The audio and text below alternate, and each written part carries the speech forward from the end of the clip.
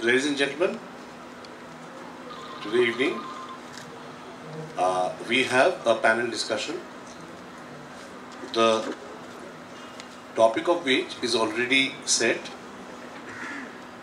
It says that uh, in Bengali theatre, rather the history of Bengali theatre, the number of adaptation works are more than original works, which I don't believe though. So today we have our panelists, celebrated playwright and uh, director of plays, also directed films, Mr. Pratto Bosu,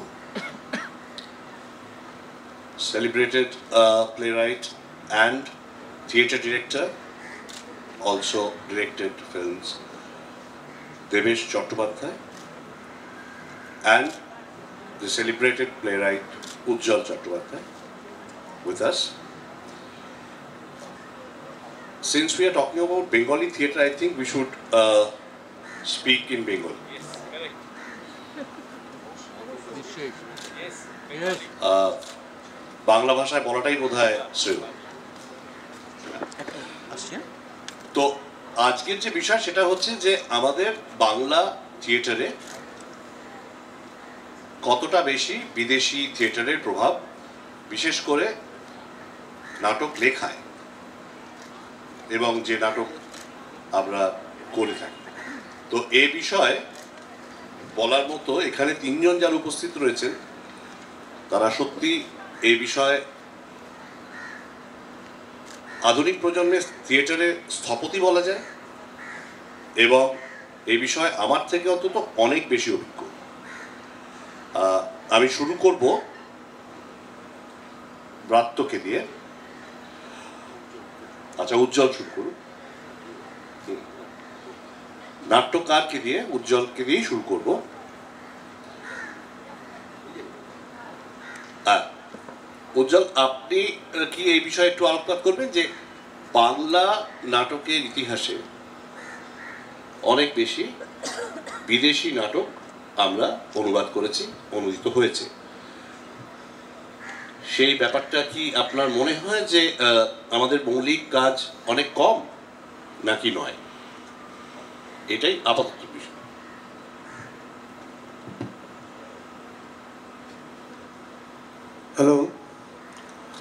Good evening. Initially, convey my warm friendship and felicitations to Times of India Group, and then my friends here present. It's true that it is very lovable to say speak in Bengali, so I get your allowance to speak in Bengali. যে কথাটা নিয়ে আলোচনা হচ্ছে বা যে কথাটা নিয়ে আলোচনা হবে এখানে উপস্থিত আছেন ব্রাত্য বসু দেবেশ চট্টোপাধ্যায় এবং কমলেশ্বর আমি যেহেতু লেখার সঙ্গে যুক্ত, সেহেতু প্রথমেই আমাদের বন্ধু, নাট্যকার, অভিনেতা, পরিচালক ব্রাত্য বসু আমাকে বললেন বলতে, আমি সংখ্যা শব্দটি কমলেশ্বর ব্যবহার করেছেন।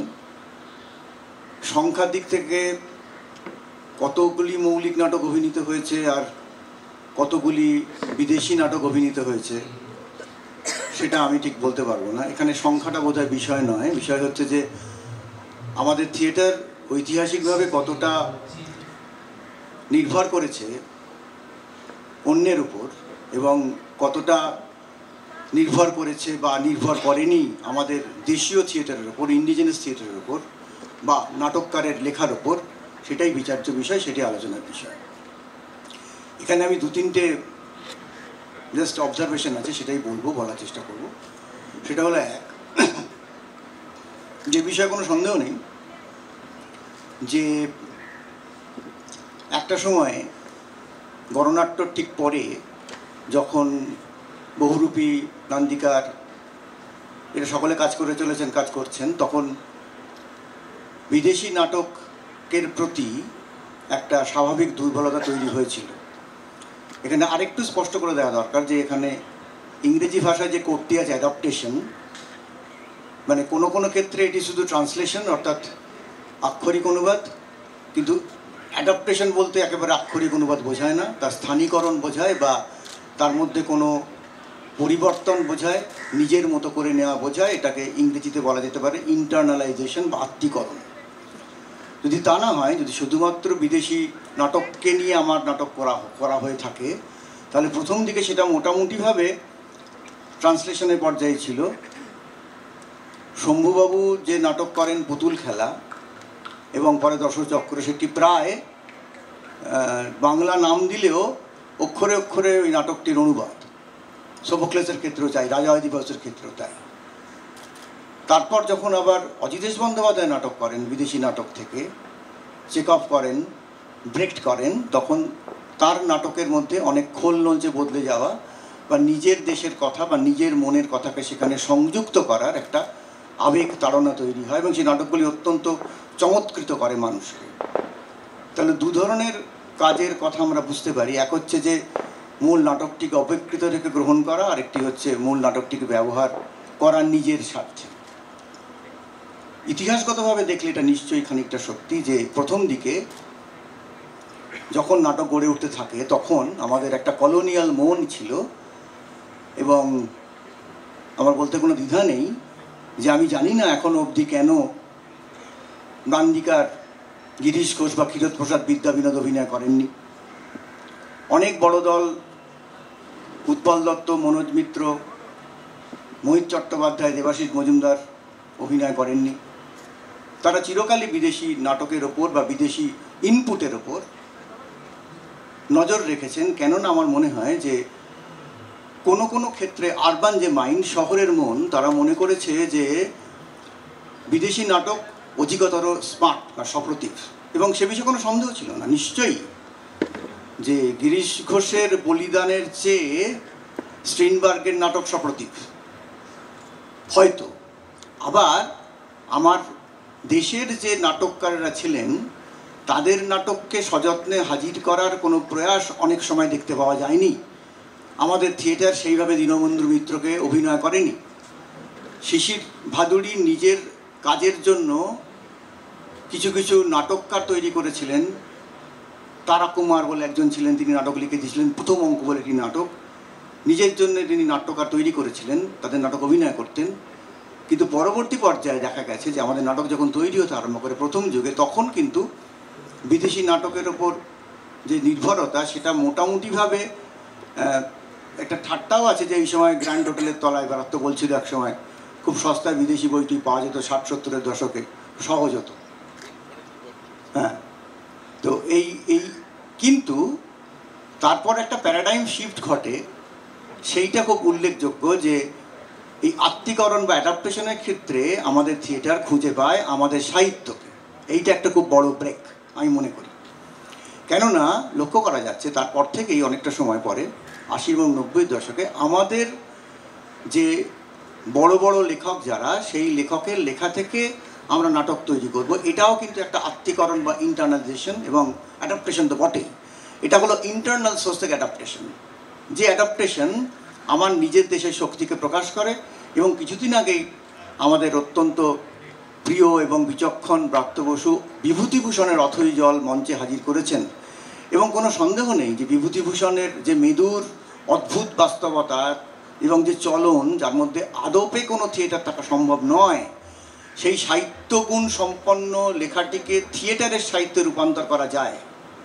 এইটা একটা অদ্ভুত কাজ হয়নি আর তো বিভূতিভূষণকে আমরা আবিষ্কার করলাম এখনকার থিয়েটার। এইটা আমার মনে হয় যে আমাদের নিজেদের কৌম যে সাহিত্য, তার প্রতি আমাদের যে দায় এবং ভালোবাসা, তার একটি প্রকাশ। আমাদের মঙ্গল কাব্য থেকে ব্রাত্য অভিনয় করছেন চাঁদ মণিকের কিস্সা তাই তো? কি নাম নাটকটা চাঁদ চাঁদ মনসার কিস্সা দেবেশ, দেবেশের কথাই বলছি। আবার এই এই বিষয় থেকেই আমি একটা নাটক লিখেছিলাম, মনসা মঙ্গল। তার মানে দেখা যাচ্ছে যে এই বিষয়টিও এই সময়ে মানে আমাদের লোককাব্য বা মঙ্গল কাব্য খুব জরুরি হয়ে উঠল। শম্ভুবাবু করেছেন চাঁদ মণিকের পালা। কিন্তু চাঁদ মণিকের পালার যে কাঠামো, এটা একটা আলাদা বিষয় আর কি আর আমাদের যে কাঠামো, সেটা আলাদা বিষয়। চাঁদ মণিকের পালায় একজন সেপ্টাজেনারিয়ান প্রোটাগনিস্টকে প্রকাশ করা হয়েছে। কিন্তু মূল যে মঙ্গল কাব্য, সেইটিকে সমূহ ব্যবহার করেননি। কোনো সন্দেহ নেই। কিন্তু দেবেশের কাজে হয়তো আমি জানতো অতটা দেখিনি, একটা মূল মঙ্গল কাব্যের প্রতি এবং তাকে নতুন করে ব্যবহার করে নতুন একটা মন দেওয়ার জন্য নতুন একটা অর্থ তৈরি করার চেষ্টা করা হয়েছে। তো প্রথম হলো আমাদের বিদেশি নাটককে প্রতি আমাদের একটা ভালোবাসা ছিলই এবং নির্ভরতা ছিলই, সেটা খানিকটা আমাদের দেশি নাটক নেই বলে। পরবর্তী পর্যায়ে ইতিহাস দেখাচ্ছে যে আস্তে আস্তে আমরা আমাদের সাহিত্যের কাছে ফিরে গেছি এবং এই মুহূর্তে কোনো সন্দেহ নেই, ব্রাত্য বলতে পারবেন। যে অনেক মৌলিক নাটককারের নাটক, মৌলিক নাটক অভিনীত হচ্ছে এবং এর মধ্যে ব্রাত্য আমাদের মধ্যে আছেন যিনি, যার সব নাটকই প্রায় মৌলিক, লক্ষ্য করে দেখা যাক। অরণ্যদেব, অশালীন, ভাইরাসেম, মুখোমুখি বসিবার থেকে শুরু করে আজকে মির্জাফর প্রথম দিকে ওরা পাঁচজন বোধ হয় অ্যাডাপ্টেশন ছিল। Peter sir. তারপর থেকে প্রাপ্ত যে কটি নাটক আমাদের উপহার দিয়েছেন, সবকটি মৌলিক নাটক। আগুন মুখ, একটি। মানে আমি বলছি মেজার তোমার কাজের মধ্যে বেশিরভাগ কাজই কিন্তু মৌলিক কাজ, মৌলিক নাটক, নিজের নাটক। আর একটা বোধ হয় উনিশ এপ্রিল সতেরো এপ্রিল একটা অ্যাডাপ্টেশন ছিল। সতেরো ছিল অ্যাডাপ্টেশন ছিল। সুতরাং এই সময়ের মধ্যে যা ব্রাত্যকে যদি একটা ইন্ডেক্স ধরা যায়, তাহলে ব্রাত্যর কাজের মধ্যে অনেকটাই নিজের কাজ আছে এবং নিজেকে ব্রাত্যর সাহিত্যগুণ তার নাটকে অত্যন্ত অসাধারণভাবে প্রতিফলিত। মানে একজন লেখকের কাছ থেকে যতটা কাজ পাওয়া যায়, ততটাই আমরা পেয়েছি এবং এ বিষয়ে কোনো সন্দেহ নেই ব্রাত্য অন্যান্য নাটককার সম্পর্ক একইভাবে নাটককার হয়েই বোধ বা অন্য কারণেও অত্যন্ত সমব্যথী এবং একজন বন্ধু এবং নানাভাবে তিনি যারা শুধুমাত্র নাটক লেখেন, তাদের নাটককে পরিণত করার এবং মানুষের কাছে হাজির করার চেষ্টা করেন। সুতরাং মৌলিক নাটকের এই মুহূর্তে বোধহয় একটা জোয়ার এসেছে বলব না, এই মুহূর্তে একটা সম্মান তৈরি হয়েছে। যদিও আমরা আলাদা করে বিদেশি নাটক অভিনয় করছি এনমন রাস্তা অভিনয় হচ্ছে। ইয়াসমিন রেজা অভিনয় হচ্ছে। এখন নাটক পাওয়া খুব সহজ ইন্টারনেটের কল্যাণে, কিন্তু তৎসত্ত্বেও বিদেশি নাটকের ছাড়াও দেশি নাটকের মধ্যে, দেশি নাট্যকারের নাট্যকারের মধ্যে, বাঙালি নাটকের নাটকের মধ্যে আমরা হয়তো আমাদের প্রার্থিত গুণমান খানিকটা খানিকটা খুঁজে পাচ্ছি বলে মনে হচ্ছে। এটুকুই আমার প্রথমে বলবার নমস্কার। ধন্যবাদ হ্যাঁ। ব্রাত্যকে আমি জাস্ট একটা কথা ধরি, সেটা হচ্ছে একদম শুরুতে five finger exercise Peter Shaffer কেন? শুরুতে পিটার সাফার কেন? না, সেটা আমি পিটার সাফার কেন? কমলেশ্বর, দেবেশ, উজ্জ্বল, সবাইকে ধন্যবাদ। আপনাদের এখানে যারা এসেছেন, সবাইকে নমস্কার। পিটার সাফার আমার প্রথম, আমার উনিশশো আটান্ন সালে ওনার লেখা একটা নাটক দ্য ফাইভ ফিঙ্গার্স এক্সারসাইজ সেটা আমার খুবই কম বয়স, সেটা তখন আমাদের দলে যা লিখে দেওয়ার কথা ছিল, সে লিখে দিচ্ছিল না। ফলে আমি এটা অ্যাডাপ্ট করেছিলাম, সহজ কথা। লিখতে গিয়ে আমি বুঝতে পারি, আমি তো অভিনেতা মানে আমি যেমন ডিরেক্টরদের সম্পর্কে আমার একটা তত্ত্ব আছে। ঠিক আছে? হতাশ অভিনেতা। হতাশ অভিনেতা মানে হ্যাঁ সে হচ্ছে ডিরেক্টর এটা আমার কথা না এটা অমিতাভ বচ্চনের কথা। যাই হোক হ্যাঁ, ভুল কথা হতে পারে। কিন্তু সবাই অভিনয় করতেই আমার ধারণা থিয়েটারে আসে। প্রথম যখন থিয়েটারে আসে সবাই অভিনয় করতেই আসে। তা আমি অভিনয় করতেই এসেছিলাম। তো আমার নাটক লেখার কোনো ইচ্ছে ছিল না। এবার ওই ফাইভ সিক্স ওই ওরা পাঁচজন লিখতে গিয়ে আমার মনে হলো যে আমি এমন এমন জিনিস লিখে ফেলছি যেগুলো আমাকে নক করছে হন্ট করছে। তখন আমি পরের নাটক লিখে অশালী। আমি সে আমাকে নিয়ে আমি খুব আলোচনা করতে চাইছি না। আমি যে যে প্রসঙ্গটা এই কমলেশ্বর তুলেছে, উজ্জ্বল করেছে, দেবেশও বলবে একটু পরে, এবং আমায় ওখানে যে ফাঁসিয়েছে প্রিয়াঙ্কা, আমি তাকে দেখতে পাচ্ছি। এখানে বলার জন্য আপনারা এসছেন। আমি ও সেটা হচ্ছে মূল কথা হচ্ছে যে, এই মৌলিক, অমৌলিক এই নিয়ে এত কথা হবে কেন? শেক্সপিয়ার মৌলিক? এটা কি একটা কলোনিয়াল মাইন্ডসেট নয়? ব্রেস্টের কটা নিজের লেখা নাটক আছে। এই একটা কলোনিয়াল মাইন্ড মাইন্ডসেট আমি ইংরেজি নাটক থেকে নিলেই সেটা মৌলিক হচ্ছে না। আমি বলছি হাটসান যে কথাটা বলেছিলেন, ওটা হচ্ছে খাঁটি কথা।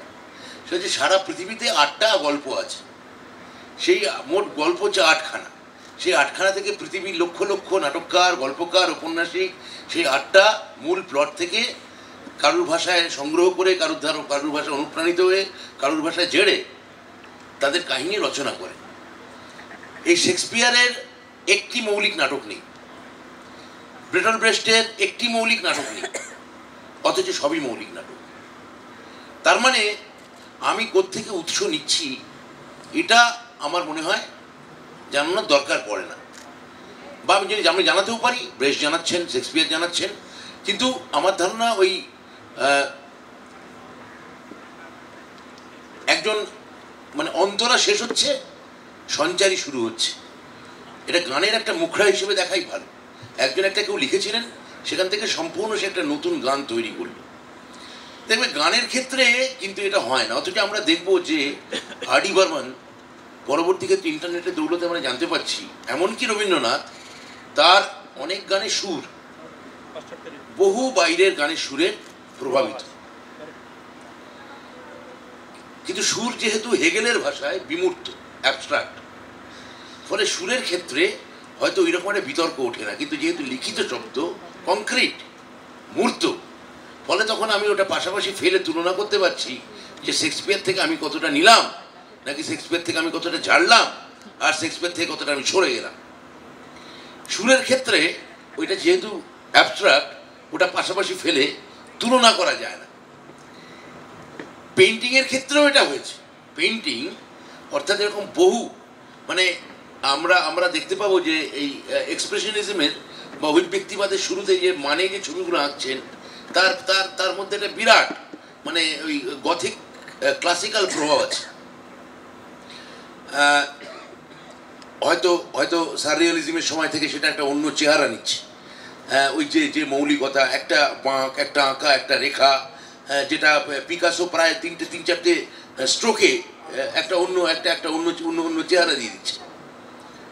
কেন আমার মনে হয় যে এই অ্যারিস্টটল যেটা বলেছিলেন যে উনি বলছেন যে কেন মহাকাব্য নাটকের থেকে ভালো কেন?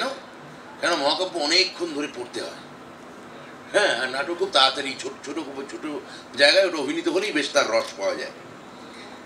ভরত কাব্যর থেকে নাট্যকে এগিয়ে রাখছে। আমি এই ভরত আর অ্যারিস্টটল নিয়ে খুব রিসেন্টলি একটা তৃণমূলটা লেখা লিখি যাও সে লেখাটা বেরোবে সেটা নিয়ে আমি বলছি না। যে ওরা ওদের ওদের মধ্যে কোথায় মিল এবং অমিল। আমি বলছি যে, বাংলায় আমরা যদি দেখি, উজ্জ্বল খুব স্বাভাবিকভাবে উজ্জ্বল নিজে গ্রুপ থিয়েটারের আমরা সবাই তাই গ্রুপ থিয়েটারের সন্তান বলে, আমরা সবাই, ও শুরুই করলে শম্ভুবাবু দিয়ে। কিন্তু বাংলার যে প্রথম নাটকটা, যেটা প্রসেনিয়াম থিয়েটার, যেটা লেবেদেব করছেন, সেটা একটা ফরাসি নাটক জর্ড্রেলের লেখা। দ্যাট ইজ গাইস তার মানে বাংলা নাটক বরাবরই তার মধ্যে একটা ওই কমলেশ্বরের প্রশ্নের মধ্যে একটা কলোনিয়াল মাইন্ডসেট ছিল। মৌলিক নাটককাররা কিন্তু উঠে এসছেন অনেক পরে। যখন রাজা রাজারা বা জমিদার বাহাদুররা আমাদের এখানে থিয়েটার করতে শুরু করলেন। তা সেই থিয়েটার দেখে আবার একজন নাটককারের মনে হলো, হলিক কুনাট্য রঙ্গে মজেরার বঙ্গে নিরকিয়া প্রাণী না ঈশ্বর বলে এই যে আমি এই এই তুলনার কথা হচ্ছে। এরকম বহু বই আছে, আপনারা দেখাতে পারি, যে মেঘনাথবোধ কাব্য রাখা হবে এবং পাশাপাশি মিল্টন রাখা হবে বা হোমার রাখা হবে। ছত্রে ছত্রে মিল আছে। তাহলে মধুসূদন দত্ত কেন মৌলিক বা মৌলিক নন বা মধুসূদন দত্তের ক্ষেত্রে কতটা কি প্রভাব আছে? চলে আসি বঙ্কিম বাংলা উপন্যাসে। আমরা যদি দুর্গেশ নন্দিনী এবং আইভান হোকে যদি পাশাপাশি রাখি, তাহলে ছত্রে ছত্রে মিল আছে। তাহলে নাটকের ক্ষেত্রে কিন্তু, নাটক কিন্তু প্রথম থেকে যখন মৌলিক নাটক লেখা হয়েছে, আঠারোশো আটচল্লিশ সালে জেসি গুপ্ত কীর্তিবিলাস লিখছেন এবং তারাচরণ শিকদার তিনি ভদ্রার্জুন লিখতেন, লিখছেন। তাদের পেছনে কিন্তু এই ধরনের কোনো মিল্টন, কোনো স্কট হ্যাঁ কোনো শেক্সপিয়ার হুমার, এরা এইসব নেই। তো আমার মনে হয় যে এখন আমরা কি কাজ করছি, না করছি, তার একটা খণ্ডকালের বিচার হচ্ছে। আমার মনে হয় পোস্ট ভার্চুয়াল যুগে কোনো কিছুই থাকবে না। প্রত্যেকটাই প্রায় ইউজ অ্যান্ড থ্রো তা এই কমলেশ্বর এখন ডুরেন মাঠ করছে, দেবেশ বিজয়গুপ্ত মানে মনসামঙ্গল করছে। আমি বিভূতিভূষণ মানে অথৈজল করছি এবং উজ্জ্বল উজ্জ্বল তো মনে রোজ আমি তো কালকে একটা মানে গোর্কি সংখ্যা পড়ছিলাম, সেখানে দেখছি দশটা বিজ্ঞাপনের মধ্যে আটটা উজ্জ্বলের নাটক। আমি প্রায় স্তব্ধ হয়ে গেছি দেখি। হ্যাঁ এবং আমার ধারণা, এটা প্রতিদিন নাটক লেখাটা কারণ সুনীলদা যদি উপন্যাস লিখতে পারেন প্রত্যেক দিন, নিয়ম করে। হ্যাঁ তার প্রতিদিন নাটক লেখা দিয়ে বা কি গন্ডগোল আছে। আমি শুনেছি বালজাক নাকি যখন লিখতেন, তখন তিনি টানা এক মাস লিখতেন। তারপর এক মাস পর ঘুমিয়ে, দিন দশ, ছয়, সাত ঘুমিয়ে, তারপর উনি মদ্রত খেয়ে ফুর্তি টুর্তি ইত্যাদি করতে যেতেন। তো এইরকম আমার মনে হয় যে এটা এটা এটা কোনো খুব বড় কথা নয়। বড় কথা হচ্ছে যে বাংলা নাটকে আমরা যেটা পারিনি, সেটা হচ্ছে বাংলা নাটকে ইংরেজির প্রভাব নিয়েই আমরা কাটিয়েছি বা ফ্রেঞ্চ প্রভাব। যতীন্দ্রনাথ ঠাকুর মলিয়ার করেছেন। কিন্তু আমার মনে হয় যে এই যে ফেডারেল স্ট্রাকচার এই আজকে আমি একটা খবর পেলাম জিস লাহোর নেহি দেখে ও জন্মাই নেই, এই নাটকটাকে বন্ধ করে দেওয়া হচ্ছে। তার কারণ ওই সেন্স অফ ফেডারেল স্ট্রাকচারই আমাদের গড়ে ওঠেনি। মানে আমাদের যদি গোড়ার দিকে বরং মারাঠি নাটকের প্রভাব আমাদের মধ্যে থাকতো, বা কন্নড় নাটকের প্রভাব আমাদের মধ্যে থাকতো, বা তামিল নাটকের প্রভাব আমাদের মধ্যে থাকতো, তাহলে আমার মনে হয় যে আমাদের এই এই এই বিদেশি নাটকের প্রভাব কতখানি আছে কি নেই, এইসব বিষয়ে কথাবার্তা কম হতো। কেননা আমার খুব গভীরভাবে ভাবতে ইচ্ছে করে এখন বুঝতে পারি যে বিভিন্ন জায়গায় গিয়ে আপনাদের মতো কিছু রসিক ছাড়া এই বাংলা থিয়েটারের দিকে তাকালে আমার মনে হয় যে একজন বাঙালির সঙ্গে একজন তেলেগুর ফারাক হচ্ছে এই যে একজন তেলেগু জানেই যে সে তেলেগু কিন্তু একজন বাঙালি জানে না যে সেও আসলে তেলেগু তার ধারণা সে আসলে বাঙালি।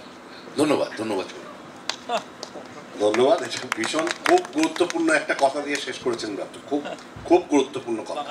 আহ, যাব আমরা বার্নার্ড শ এবং তার নাটকে, কিন্তু তার আগে আমি একটা প্রশ্ন হ্যাঁ টিনের তলোয়ার বিগ বেলিয়ান, এই, এইসব প্রশ্নে যাব। তার আগে এই কথাটা খুব ইম্পর্টেন্ট খুব গুরুত্বপূর্ণ। বাঙালি কি তার ভাষার প্রতি লয়াল যে কোনো আর্ট ফর্ম মিলিয়ে বলছি। আমাদের আসলে যেটা হয়েছে, আমাদের বাংলা নাটকের ক্ষেত্রে সব থেকে আচ্ছা সবাইকে প্রথমে ধন্যবাদ। আমাদের বন্ধু বান্ধবরা আমরা বসে আছি এখানে। আপনারা যারা রয়েছেন সামনে এই বাংলা নাটকের ক্ষেত্রে আসলে যেটা আমাদের যে নাটকটা আমরা করি সেই নাটকটা তো আসলে আমাদের আমাদের নিজস্ব প্ল্যাটফর্ম নয়। মানে আমরা তো সেটা কোথাও আমাদের উত্তরাধিকার সূত্রে পাইনি। তো ফলে কি হয়েছে যে, ধরুন ভরতের নাট্যশাস্ত্রে রাত্র বলল ভরতের নাট্যশাস্ত্রের কাঠামো ছিল, যেটা আমাদের এখানকার অঞ্চল সেটাও আঞ্চলিক। আমাদের এখানকার অঞ্চলটা ছিল উড্রু মাগধি সেই অঞ্চলের একটা হ্যাঁ সেই অঞ্চলে একটা ভাষা ছিল, ভারতের উড্রু মাগধি বলে একটা অঞ্চলের কথা বলা আছে। হ্যাঁ সেটা অনুযায়ী একটা প্রবৃত্তির কথা বলা আছে। উড়িষ্যা, বিহার এই তার একটা বৃত্তির কথা বলা আছে, তার একটা অর্থাৎ রীতি আছে, তার ধরন আছে, চলন আছে ভাষার পোশাক, সবটা একটা আলাদা প্যাটার্ন তৈরি করা হয়েছে এবং ভারতবর্ষকে চারটে ভাগে উনি ভাগ করে দিয়েছেন। মজাটা হচ্ছে চারটে ভাগের থিয়েটারের স্ট্রাকচারটা এক ছিল, কিন্তু তার অন্যান্য গঠনগুলো, নাট্য রীতিটা কিন্তু মূলত এক ছিল। নাটক লেখার যে রীতি বা গঠন সেটা কিন্তু একটা স্ট্রাকচারের মধ্যে ছিল। ঘটনাটা ঘটলো যে তারপরে যখন মধ্যযুগের পর থেকে আমাদের এই মূল সংস্কৃত নাটকের ধারা, তার যে সংস্কৃত নাটক, তার যে লেখার ধরন, সেটা আমাদের সম্পূর্ণ বাংলা নাটকের থেকে আলাদা। এবার মধ্যযুগের পর থেকে যখন নাটকের, সংস্কৃত নাটকের ক্রমশ অবলুপ্তি এবং তারপরে যখন কলোনিয়াল স্ট্রাকচারটা আমাদের এখানে ঢুকলো, যখন বিদেশিরা তাদের স্ট্রাকচারটা নিয়ে থিয়েটারটা নিয়ে আমাদের এখানে ফেলল, তখন যেটা হলো যে আমাদের এখানকার আমাদের বাংলার ক্ষেত্রে যেটা ঘটলো সেটা হচ্ছে যাত্রা নাটক লেখার ক্ষেত্রে। যাত্রা তার সঙ্গে বিদেশি নাটকের অর্থাৎ ব্রিটিশ নাটকের অঙ্ক বিভাজন তার সঙ্গে শেক্সপিয়ার নাটকের অঙ্ক বিভাজন তার সঙ্গে আবার আমাদের মানে প্রচলিত যে লোকনাট্য তার ধরন এই সবটা মিলেমিশে একটা হাইব্রিড ক্যারেক্টার তৈরি হলো আমাদের বাংলার নাটক রচনার ক্ষেত্রে।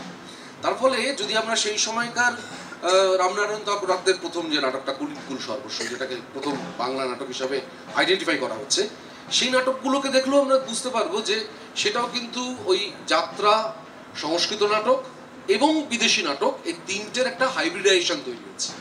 তার কারণটা প্রসিডিয়াম মঞ্চটাই আমাদের বাঙালির নিজস্ব মঞ্চ ছিল না। এবার বাঙালি তখন অ্যাডাপ্ট করতে করতে যাচ্ছে মানে বাঙালি টোটাল নাট্য রীতিটাকে অ্যাডাপ্ট করতে করতে যাচ্ছে তার সঙ্গে নাটক রচনার রীতিটাকেও সময়ের সঙ্গে সঙ্গে অ্যাডাপ্ট করতে করতে যাচ্ছে।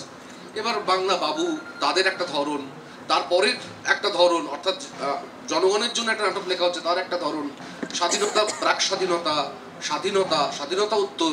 এরকম করে সময়ের সঙ্গে সঙ্গে বাংলা থিয়েটার যত এগোতে এগোতে গেছে, মজাটা হয়েছে যে, বাংলার নাটক রচনার ক্ষেত্রে বাংলা নাটককাররা খুব দ্রুত বুঝেছিলেন যে সময়টা এত দ্রুত পাল্টাচ্ছে যে শুধুমাত্র আমাদের এখানে বাংলার বিষয়গত ভাবে আমি বিষয়ের কথা বলছি, এবং নাট্য রচনার ক্ষেত্রেও খানিকটা, যে স্থানিক না হয়ে বরঞ্চ সেক্ষেত্রে সোপোক্লেস বরঞ্চ সেক্ষেত্রে শেক্সপিয়ার, বা ইফসেন বা বার্নার্ড শ, এই নাটককারদের নাটকগুলো তারা আত্মীকরণ করতে পারেন কিনা। ঘটনা ঘটলো যে আমরা যখন থিয়েটারটা করতে এলাম, তখন গ্লোবালাইজেশনটার ঘটনা ঘটেনি মানে যেটা হয়েছে সেটা হচ্ছে, আসছে। আসছে, এরকম একটা একটা একটা ইন্ডিকেট করছে। বাংলা থিয়েটারে তখন কি হচ্ছে? মানে আমরা যখন থিয়েটার করতে আসছি, তখন কিন্তু যে নাটকগুলো মূলত হচ্ছে, সেটা হচ্ছে যে মঞ্চে একটা বিপ্লব থাকছে। যে বিপ্লবটা কোথাও ঘটে নাটক রচনার ক্ষেত্রে শেষে গিয়ে একটা লাল আলো জ্বালানো হচ্ছে, একটা বিপ্লব হচ্ছে। যেটা যে বিপ্লব নেই, সেইটাও আস্তে আস্তে কমে গিয়ে একটা ঘরের গল্পের মধ্যে ঢুকে যেতে আরম্ভ করেছে নাটক। অর্থাৎ প্রাত্যহিকতার নাটক, আমাদের ঘর স্লাইস অফ লাইফ এই নাটকগুলো প্রায়োটাইজড হতে আরম্ভ করছে। কিন্তু আমাদের এই যে একটা বড় ঘটনাগুলো ধাক্কা খেতে খেতে আরম্ভ করবে, আমি মনে করি দুটো নাটক এক্ষেত্রে খুব ভাইটাল রোল প্লে করেছিল আমাদের এই সময়ের প্রেক্ষিতে। একটা হচ্ছে তিস্তাপাড়ের বৃত্তান্ত আর একটা হচ্ছে উইঙ্কেল চুরি কেন এই দুটো নাটক আমি মনে করি সময়ের সঙ্গে গুরুত্বপূর্ণ? তিস্তাপাড়ের বৃত্তান্ত যে বিষয়টাকে ধরছে সেই বিষয়টা কিন্তু সারা পৃথিবীতে ঘটে যাওয়া প্রান্তিক মানুষের একটা সংগ্রাম বা তার লড়াই বা তার নিজের মতো করে অভিযোজনের একটা কথা বলা। সেটা থিয়েট্রিক্যাল রিপ্রেজেন্টেশনস দিয়ে একটা স্ক্রিপ্ট ফরমেশন করা হচ্ছে। একদম। দু নম্বর, যে কথার, যে জিনিসটা ব্রাত্য লিখছে উইঙ্কেল টুইঙ্কেলে সেটা কিন্তু ওই সময় দাঁড়িয়ে সময়ের অনেক আগে একটা দেখতে পাওয়া একটা ঘটনা। মানে যেটা কিন্তু দু হাজার না, অরণ্যদেব, আমি এটা পরপর হচ্ছে, এটা এমন নয় তো যে তুই হঠাৎ করে উইঙ্কেল টুইঙ্কেল লিখে ফেললি, তা নয়। বলছি যে পুরোটা জার্নিটার মধ্যে এটা ঘটছে। ঘটতে ঘটতে তার একটা ফাইনাল কালমিনেশন আমি পেয়েছিলাম উইঙ্কেল টুইঙ্কেলের ক্ষেত্রে, যেটা কিন্তু প্রায় ফোরকাস্ট করতে আরম্ভ করছে যে এটা ঘটতে চলেছে। তো থিয়েটারের এই যে, এই এই যে- এই যে কোথাও তার মৌলিকতার গণ্ডিতে আটকে না থেকে, বরঞ্চ এই এইটা সারা পৃথিবী জুড়ে চারপাশে ঘটনাগুলো ঘটছে, তার সঙ্গে সংঘাতে গিয়েছিল বলেই এটা কিন্তু এত সাম্প্রতিক এবং একই সঙ্গে সমকালীন এবং একই সঙ্গে চিরকালীন কথা বলার মতো একটা জায়গা তৈরি করতে পেরেছে। সেটা আমার মনে হচ্ছে যে উইঙ্কেল টুইঙ্কেলের ক্ষেত্রে সেটা বড় একটা ঘটনা ঘটেছে। পরবর্তীকালেও বিভিন্ন আমার নাটক করার ক্ষেত্রে আমি দেখেছি যে আমি কখনোই মৌলিক বলে আমি যেটা প্রাপ্ত বলে মৌলিক বলে কোনো নাটকে বিশ্বাস করি না, কোনো কোনো আইডিয়া মৌলিক নয়।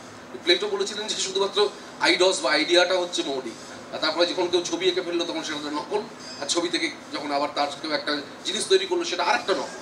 মানে মূল সত্য থেকে সরে যাওয়া, শিল্প, শিল্পকর্মের ক্ষেত্রে যেটা প্লেটো বলে মাই মেসেজ হুম। তো এই ওটা মাই মেসেজটা পরে প্লেটো যেটা আগে বলেছেন যে আইডস থেকে সরে আইডিয়া থেকে সরে তো এই ঘটনাগুলো যেটা, সেটা হচ্ছে যে মূল সত্য বা মূল মৌলিকতা বলতে আমি আলাদাভাবে আর কিছু বুঝি না। আমি এইটুকু বুঝি যে সময়ের সঙ্গে দাঁড়িয়ে তুমি যদি মনে করো যে একটা কথা বলতে চাইছো, সেই কথাটা, ধরা যাক আমি এখন দাঁড়িয়ে এই মুহূর্তে জর্জ অরওয়েলের নাইনটিন এইটটি ফোরটা আমি আবার একটা নাট্যরূপ দেওয়ার আমার মতো করে চেষ্টা করলাম।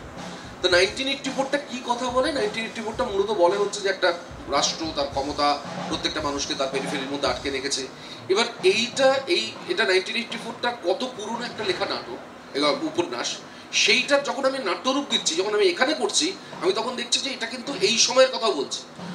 অর্থাৎ এমনও হতে পারে যে পুরনো কোনো সময়ের কোনো উপন্যাস সেটা যদি আমাকে অনুপ্রাণিত করে এবং সেটা যদি এই সময়ে হতে আরম্ভ করে, তাহলে সেইটার যে ধাক্কা, সেটা কিন্তু বাংলা থিয়েটারই একমাত্র পায়। বাংলা থিয়েটারই কিন্তু এই চিরকাল মানে তার যে ঐতিহাসিক জায়গা থেকে যদি আমরা দেখি, যে তার বিষয়গত জায়গা থেকে সে এমন বিষয় বেছে নিয়েছে। যেমন একটা নাটকের কথা আমি মনে পড়ছে, সেটা হচ্ছে রাত্রে একটা নাটক লিখেছিল, সেটা হচ্ছে সমকামীদের কৃষ্ণ গহ্বর। হ্যাঁ? ওটা বাং, এবার সমকামিতা নিয়ে দু সালে একটা নাটক লেখা হচ্ছে। সেই কারণের জন্য ফিল্মের থেকে, ফিল্মের কন্টেন্টের যে থেকে, থিয়েটারে কন্টেন্ট যে অনেক এগিয়ে, তার মূল কারণটা হচ্ছে সারা পৃথিবী জুড়ে কি ঘটছে, সেই ইতিহাসটার সঙ্গে, তার সাহিত্যের সঙ্গে বাংলা থিয়েটারে এনকাউন্টার করেছে বেশি। বাংলা ফিল্ম সেই এনকাউন্টারটা করেনি কোনো তার ফলে কন্টেন্টের জায়গা থেকে বাংলা ফিল্ম যতটা পিছিয়ে দেখেছে, বাংলা থিয়েটার কিন্তু অনেক এগিয়ে দেখেছে, তার কারণ আমরা কিন্তু কোনো কিছুকে ব্রাত্য করে রাখি। আমরা বরঞ্চ সব কিছুর মধ্যে থেকে ঢুকে সমস্ত জায়গা থেকে রসদ নিয়ে আমাদের থিয়েটারের জায়গাটাকে নাটক লেখার জায়গাটাকে আমরা এগিয়ে নিয়ে যেতে পেরেছি। এইটুকু আপাতত বলা। দেবেশ খুব সুন্দর করে আমি খালি কমলের সঙ্গে জিজ্ঞেস করব, যেহেতু ফিল্ম থিয়েটার দুটোই করে দেবেশও করে আমি একসময় করতাম, এই আবার শুরু করব, যাই হোক। তো এই এইটাই আমি আমি এরকমও শুনি আমি এনকাউন্টারের কথা বললাম। আমি তো শুনি বাংলা ফিল্মে নাকি এরকম ডিরেক্টর আছে বছর বছর তিন চারটে ছবি করছে এবং সে বিশ্বাস করে যে অন্য কিছু দেখার দরকার পড়ে না অন্য কিছু পড়ার দরকার পড়ে না শুধু ছবি বানানোটাই দরকার। এটা ভয়ঙ্কর ব্যাপার। এটা এটা এটা আমার এটা ভয়ঙ্কর ব্যাপার মানে আমি খালি ছবি বানিয়ে যাব আমি কিছু দেখব না আমি কিছু পড়ব না। হ্যাঁ এই তো মানে সেই জন্য বাংলা ফিল্মের কন্টেন্ট এত দুর্বল। হ্যাঁ কেননা আমার আমার আমার ওই আমার আমার আমার পেছনে ইন্দ্রনাথ দ্বারা আছে। এটা কি? এবং সেই কারণে বাংলা ফিল্মের ক্ষেত্রে তুই যদি কন্টেন্ট দেখিস যত বেশি তামিল তেলুগু ছবির অনুপ্রেরণা পায় তত বেশি বাংলা সাহিত্যের অনুপ্রেরণা পায়। না না চাঁদের পাহাড় করেছে বিভূতিভূষণ সেটা সেটা খুব একটা ইম্পর্টেন্ট দিক কারণ চাঁদের পাহাড় যে ছবি হতে পারে। হ্যাঁ সেটা। ব্যতিক্রম বলেই আমাদের ধরতে হবে। মাইনরিটি হ্যাঁ হ্যাঁ হ্যাঁ না বিষয়টা অ্যাকচুয়ালি সেটা মানে ওই আলোচনাতে আমরা এখন যাচ্ছি না। একটা কথা বলি দেবেশের কথা থেকে যেটা উঠে এলো আমরা এই অ্যাডাপ্টেশন বা বিদেশি নাটক নেওয়া আত্মীকরণ ইত্যাদিকে রাইট করে গেছে। তার নাম অবশ্যই রবীন্দ্রনাথ ঠাকুর। হ্যাঁ একদম তার কথা আমরা প্রায় কেউ বললাম না। অবশ্যই হ্যাঁ হ্যাঁ। কারণ সে একটা লোক একটা ফর্ম বারো বছর লিখছে না। ওই যে শেক্সপিরিয়ান ফর্মের কথা হচ্ছিল আঠারোশো ছিয়ানব্বই সালে সেটা লাস্ট লিখলেন। তার পরের নাটক উনিশশো আট রবীন্দ্রনাথ শারদোৎসব। তার মানে বারো বছর একটা লোক নাটক লেখেনি। তারপর সে লিখতে আসছে পুরো ফর্ম তার টেক্স সব কিছু ভেঙে চুরে ভেঙে, ফার হেড হ্যাঁ। এই আর কি। হ্যাঁ। না, ওই সেটার কথা বলছিলাম না। আমি বলছি যে আমরা যদি যাত্রাকেও ধরি আমাদের ইন্ডিজিনাস একটা না, ওটা রবীন্দ্রনাথের কম দিয়ে বলাটাই সবচেয়ে ভালো। যদি যাত্রার সময় বলি হ্যাঁ মানে যাত্রার বিবেকী আরবানাইজড হয়ে কিন্তু আমার ঠাকুরদা হয়েছে। উনি লিখছেন যাত্রার আনুকূল্য হ্যাঁ। আমাদের এখানে প্রসেনিয়াম থিয়েটারে থাকবে। এবং যাত্রার যে স্ট্রাকচার সেটাই কিন্তু রবীন্দ্রনাথের স্ট্রাকচারে আছে যে উপরে লেখা আছে পথ তলায় কিছু সংলাপ কোনো অনেক সময় প্রবেশ পথ লেখা নেই।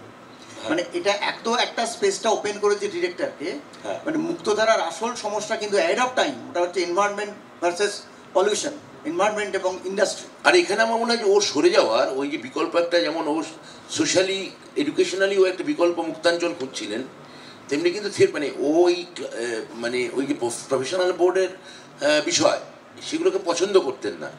এবং যখন জ্যোতিরিন্দ্রনাথ ঠাকুরের সঙ্গে কাদম্বনী সুইসাইডের পর আঠারোশো চুরানব্বই মারা যাচ্ছে, যখন বিনোদিনী নামটা জড়াচ্ছে, তখন এই পুরো এন্টায়ার প্রজেক্টটাকে উনি রিফিউট করছেন। যে এই ধরনের যেখানে এই মহিলা বা ইত্যাদি এইসব ব্যাপার জড়িয়ে পড়ে থিয়েটারের সঙ্গে যেটা হ্যাঁ। যেটা শিশির ভাদুরী এক ধরনের মুক্তি দিলেন। যে থিয়েটার মানেই যেন বা তার মধ্যে একটা সাবল্টান এক ধরনের একটু মেয়েটে নিয়ে ফুর্তি করা হয়। এই ধরনের একটা সামাজিক অনুষঙ্গ জড়িয়ে আছে। শিশির ভাদুরী যখন এলেন থিয়েটার করতে যে একজন প্রফেসর সে কিনা থিয়েটার ছেড়ে দিয়ে নাটক করতে পড়ানো ছেড়ে দিয়ে থিয়েটার করতে আসছে। যেটাকে সৌম্যমিত্র প্রথম মান্যতা দিলেন। যে সৌম্যমিত্র হচ্ছে প্রথম লোক কোথায় যে সে তার স্ত্রীকে থিয়েটারে নিয়ে এলো।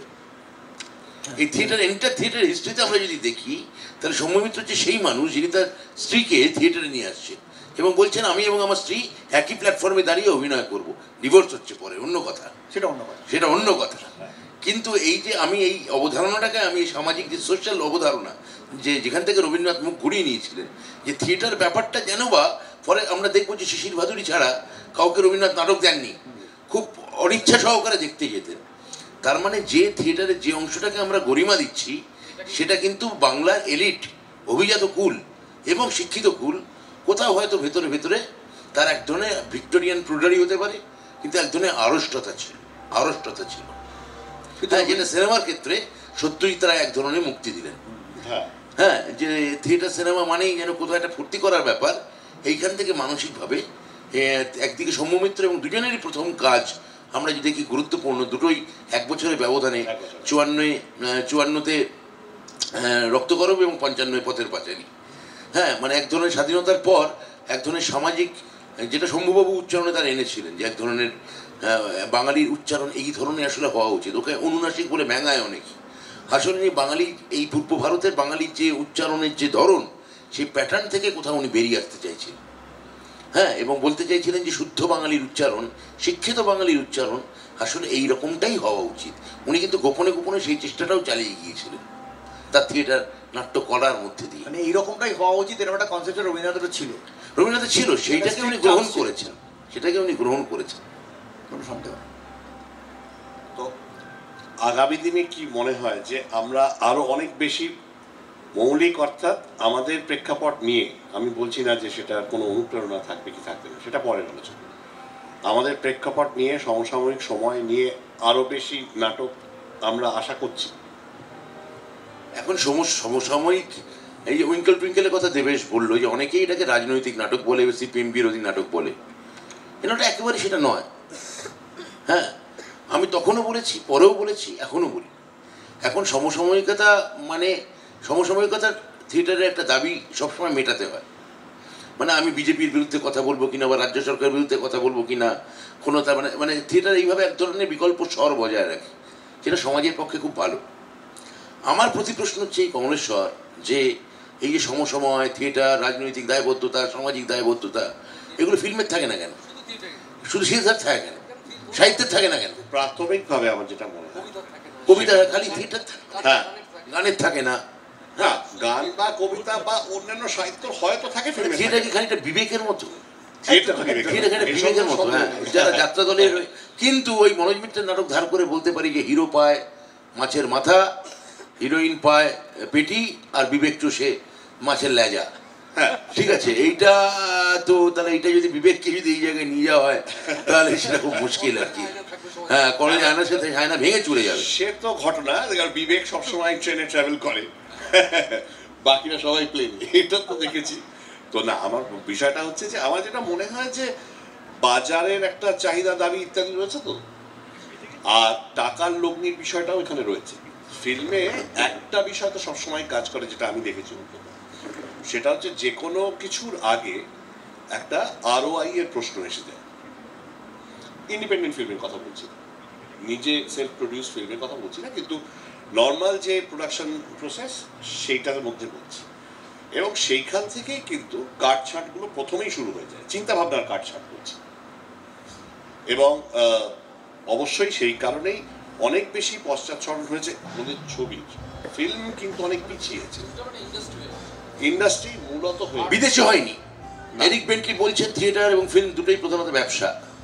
কিন্তু যে মুহূর্তে সতেরো সালে বিপ্লব সফল হলো এবং এক ধরনের লেনিনের চব্বিশ সালে মৃত্যুর পর এক ধরনের স্টালিনিস্ট কালচারাল মডেল যেটা ঝদানা বলছেন এবং সমাজতান্ত্রিক বাস্তবতাবাদ বলে একটা বিষয় উঠে এলো যেটা গোর্কি বিরোধিতা করছে। হ্যাঁ। সেই সমাজতান্ত্রিক বাস্তবতাবাদ যে মুহূর্তে এলো সেইখানে কোথাও একটা থিয়েটারে সব থেকে বেশি দায়বর্তা হলো থিয়েটারে যে থিয়েটারকে কোথাও গরিব মানুষের ঠেকা নিয়ে নিতে হবে।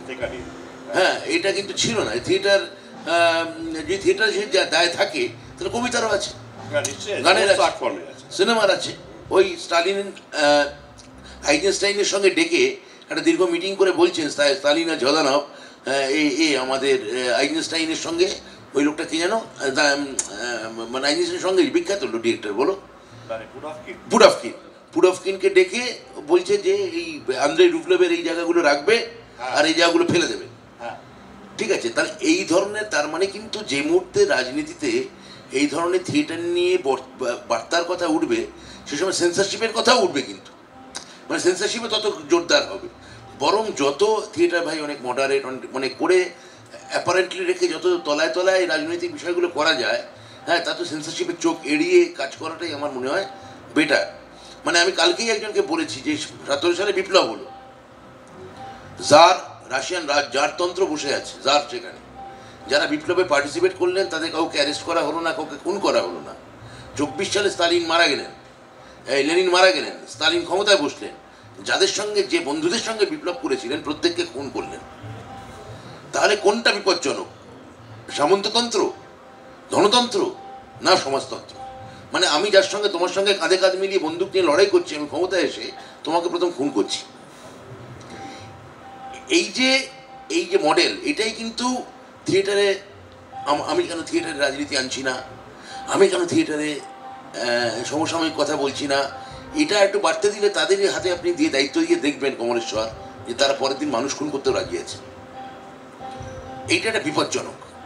এইটা অভিজ্ঞতা আমার নেই মানে স্টেট স্ট্রাকচারের সঙ্গে একটা নাটকের দল বা একটা নাটকের মানে পরিবেশ, সেটা কতটা মিলবে সেটা আমি বলতে পারব সেটা আপনারা অনেক বেশি অভিজ্ঞ, সেটা বলতে পারেন। কিন্তু আমার একটা বেসিক প্রশ্ন, তাহলে কি কোথাও মানে সেন্সারশিপ বিহীন স্পন্টেনিয়াস এক্সপ্রেশন থাকবে না? আটকাতে হবে কোথাও কোথাও। সেন্সারশিপ থাকবেই। সারা পৃথিবী জুড়ে আছে। এবার সেন্সারশিপকে আপনি ফাঁকি দিয়ে কীভাবে কাজ করবেন? ব্রেস্টকে যখন হুয়াকের সামনে গিয়ে আমেরিকায় গিয়ে বসে, ওর লেখা দিয়ে বলা হয় যে এই লেখাগুলো un American activities walk house of un American activities তো লেখাগুলো, এইগুলো কি আপনার রাজনৈতিক লেখা বলে? না না, এগুলো সব সাহিত্যিক লেখা আমার। আমার সাহিত্য বিষয়ক লেখা। হ্যাঁ তো এইগুলো থাকবে। আমার মনে হয় যে এগুলো দ্যাটস নট ইম্পর্টেন্ট রাষ্ট্র অনেক আপনার উপর অনেক খবরদারি চালাবে। কিন্তু থিয়েটারের এই বিকল্প স্বর সিস্টেমের জন্য বজায় রাখতে হবে। আজকে যদি লাহোর নেই, দেখা জন্মাই নেই, যদি বন্ধ করে দেয়, যেহেতু লাহোর শব্দটা আছে বলে তাহলে তার থেকে হাস্য করার কিছু হতে পারে। হাস্যকর অবশ্যই সেটি কোনো সন্দেহ নেই। দেবেশ হ্যাঁ? তুমি এই বিষয়টা কিছু বলবে? হ্যাঁ আবার সেই চার পাশে মিউজিক শুরু হয়ে গেছে তার মানে আরেকটা অনুষ্ঠান শুরু হবে। তো আমার মনে হয় যে আমাদের আমাদের আলোচনাটা অনুষ্ঠান গুটিয়ে ফেলুক।